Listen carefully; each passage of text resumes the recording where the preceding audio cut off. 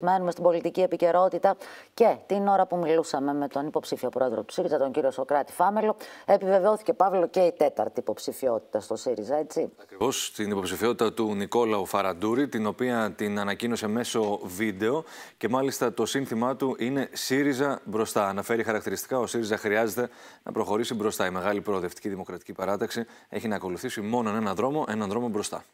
Λοιπόν, τέσσερις υποψήφοι πλέον στον ΣΥΡΙΖΑ. Ο κύριος Νικόλας Φαραντούρης είναι ο τελευταίος που κατέθεσε την υποψηφιότητά του. Είναι ήδη επίσημες υποψηφιότητες του κυρίου Σοκράτη Φάμελου και του κυρίου Παύλου Πολάκη. Δεδομένη υποψηφιότητα του Στέφανου Κασελάκη, περιμένουμε από μέρα σε μέρα την επίσημη ανακοίνωση. Σήμερα μαθαίνουμε ότι ίσως ανακοινωθεί τελικά την Πέμπτη.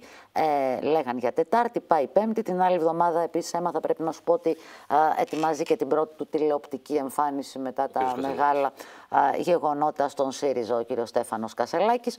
Και για πάμε να δούμε τι γίνεται και στα δύο κόμματα της ε, αντιπολίτευσης ε, που βρίσκονται σε κούρσα ανάδειξης νέας ηγεσίας. Κυριακή εκλογές στο Πασόκ, αυτή την Κυριακή ο πρώτος γύρος. Πάμε μετά από δύο μήνες και στον ΣΥΡΙΖΑ. Πάμε να μιλήσουμε με τον ε, Διευθυντή, τον επικεφαλή επιστημονικό έρευνων της Προράτα, τον κύριο Άγγελο Σεριάτο. Κύριε Σεριάτο, καλή σας μέρα. Καλή σας μέρα. Καλημέρα, καλησπέρα σας και ευχαριστώ για την πρόσκληση. Καλησπέρα, μάλλον δίκιο έχετε. Η ώρα είναι μία παρατέταρτο ακριβώς. Ε, είδαμε και το τελευταίο κύμα δημοσκοπήσεων. Τρέξατε κι εσείς ε, δημοσκοπήσεις και για τις εσωκομματικές εκλογές και για την πρόθεση ψήφου. Για να δούμε πρώτα το μεγάλο κάδρο. Ε, βλέπουμε να επιβεβαιώνεται ότι σταθεροποιείται αυτή η φθορά της Νέας Δημοκρατίας, παγιώνεται και από την άλλη πλευρά έχουμε μια πάρα πολύ ρευστή εικόνα, ένα κατακαιρματισμό στο υπόλοιπο σύστημα. Ε, τι βλέπετε εσείς; Πράγματι, ε, η εικόνα που έχουμε είναι η εικόνα ενός κατακαιρματισμένου τοπίου, ρευστότητας ουσιαστικά των επιλογών, το οποίο δείχνει και ότι το αποτέλεσμα των πρόσφατων ευρωεκλογών δεν ήταν έτσι απλό. Ε, όπως υποθέταμε τουλάχιστον προϊόν ε, χαλαρής ψήφου τιμωρητικής διάθεσης, αλλά μάλλον προάγγελος ενός νέου τοπίου το οποίο βλέπουμε μπροστά μας ε, να διαμορφώνεται. Άρα, εν συγκρίση με τις βουλευτικές εκλογές και τις ευρωεκλογές, η Νέα Δημοκρατία ε, όπως είπατε στη βάση και της ε, έρευνας που διεξήχθη από την εταιρεία μας υπολείπεται των επιδόσεών της κατά πολύ από τις τότε επιδόσεις της κατά περίπου 14-15% και 4% από τις ευρωεκλογές, χωρίς αναγωγές έτσι επί της πρόθεσης ψήφου. Σημαντική καθίζηση, πολύ, πολύ έντονη καθίζηση καταγράφει και ο ΣΥΡΙΖΑ έχοντας απολέσει περίπου το 1 τρίτο των εκλογέων που τον στήριξαν στις ευρωεκλογές και περίπου το ίμιση όσων τον προτίμησαν στις βουλευτικές και από εκεί και πέρα έχουμε σημαντική αύξηση δυνάμεων για την ελληνική λύση. Έχουμε σε ανωδική τροχιά περιορισμένης έντασης προς ώρας, αλλά ανωδική τροχιά θα δούμε πού θα καταλήξει αυτό το Πασόκ.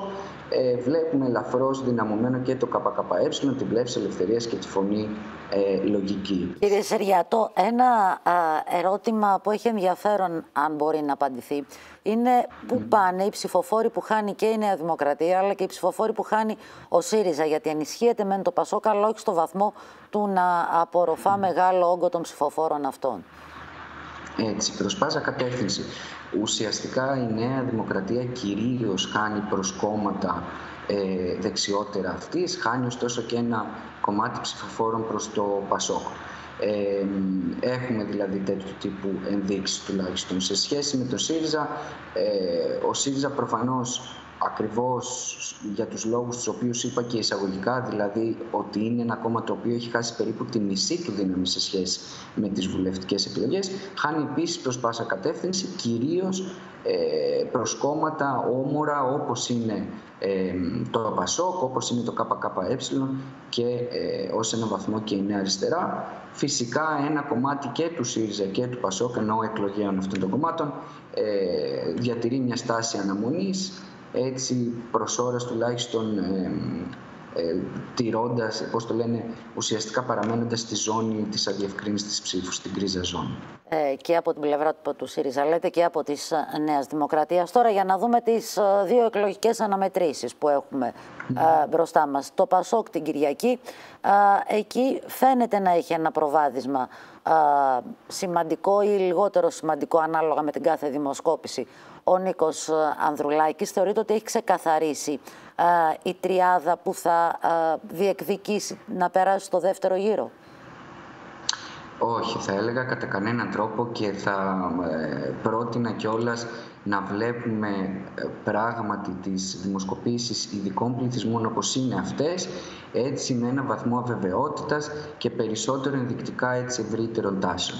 Αυτό το οποίο βλέπουμε ότι συμβαίνει είναι ότι υπάρχει μία τριάδα υποψηφίων ε, η οποία δείχνει να έχει ένα προβάδισμα. Μιλάω για τον κύριο Ανδρουλάκη, τον κύριο Δούκα και την κυρία Διαμαντοπούλου. Δεν θα απέκλεια και το γεγονός να είναι κάπου κοντά και ο κύριος Γερουλάνος.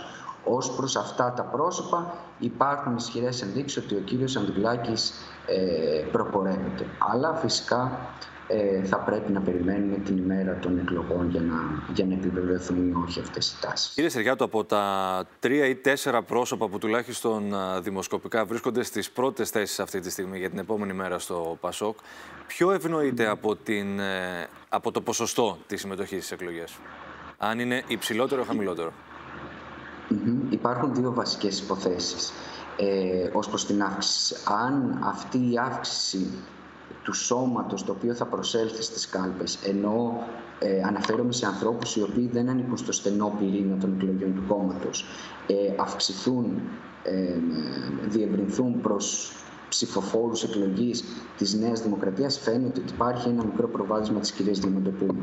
Αν αυτό το άνοιγμα γίνει προς την κατεύθυνση ε, έτσι εισαγωγικά προς τα αριστερά, προς τον χώρο για παράδειγμα το μεγαλύτερο σε αυτόν τον χώρο του, του ΣΥΡΙΖΑ, ε, φαίνεται ότι θα ευνοούταν ο κύριος Δούκας. Άρα από μόνο του μάλλον δεν μας λέει κάτι το, η αύξηση των εκλογών, θα πρέπει να δούμε και προς ποια κατεύθυνση θα είναι μια τέτοια ενδεχόμενη, ένα τέτοιο ενδεχόμενο άνοιγμα. Και ο κύριος Γερουλάνος σε ποια κοινά έχει μεγαλύτερη διείσδυση, απήχηση, γιατί επισημαίνετε σταθερά εσείς ότι δεν πρέπει να υποτιμάτε και ε, είναι ένας από τους παίκτες που μπορεί να τον δούμε ε, να κάνει την έκπληξη. Ακριβώς. Και το λέω και στη βάση μάλιστα της εξαιρετικής του, όπως φαίνεται, επίδοσης κατά το debate, το οποίο ε, είναι ένα στοιχείο το οποίο μάλλον περιπλέκει ενδεχομένως περισσότερο την κατάσταση. Άρα ο κύριος Γερουλάνος δεν έχει τόσο έντονα ε, χαρακτηριστικά ως προς την κατανομή των ανθρώπων στη βάση της εκλογικής τους ενώ προτίμησης οι οποίοι τον προτιμούν. Ε, οριζόμενα έναν οριζόντιο τρόπο έχει μία ε, σημαντική ορατή δυναμική. Φυσικά και αυτού του, του υποψηφίου η βασική του δύναμη είναι ε, όσοι στήριξαν ή προτίθενται σήμερα να στηρίξουν ε, το ΠΑΣΟΚ. Ε, από ό,τι θυμάμαι στη δημοσκόπηση τη δική σας της προράτα, ο κύριος Γερουλάνος κέρδισε ως προς την ειλικρίνεια και η κυρία Διαμαντοπούλου λέγατε ως προς την ηγετικότητα, έτσι. Ακριβώς, ακριβώς. Για να δούμε κύριε Σεριάτο τώρα και τα δεδομένα στον ΣΥΡΙΖΑ. Εκεί βλέπουμε επίσης, παρότι δεν έχει ανακοινώσει ακόμα επίσημα την υποψηφιότητά του, ένα πολύ μεγάλο προβάδισμα του ε, κυρίου Κασελάκη. Ε, έχουμε δύο μήνες μπροστά μας.